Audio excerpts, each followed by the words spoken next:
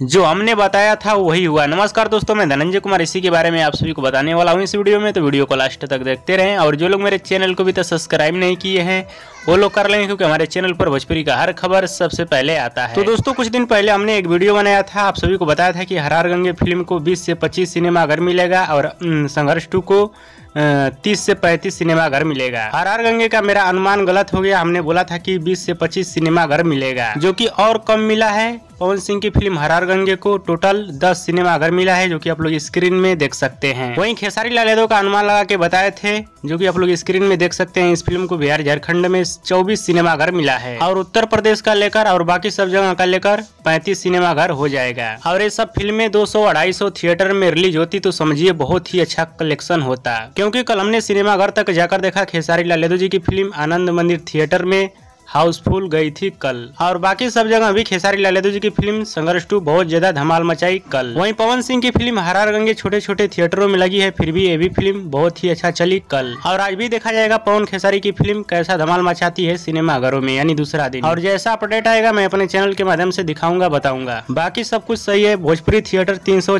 आता तो और अच्छा कलेक्शन होता है इन दोनों फ़िल्मों का। पहले भोजपुरी थिएटर 300-400 था, लेकिन अब बंद हो गया है। हाँ एक बात और, जो भाई लोग हरार गंगे या संघर्ष टू फ़िल्म को देख लिए हैं, हमें नीचे कमेंट बॉक्स में ज़रूर बताइएगा फ़िल्म कैसी लगी। और दोस्तों, पवन सिंह और खेसारी लाल यादव का वीडियो पसंद है तो ज़्यादा ज़्यादा लाइक करे, कमेंट करे शेयर करे सब्सक्राइब करे।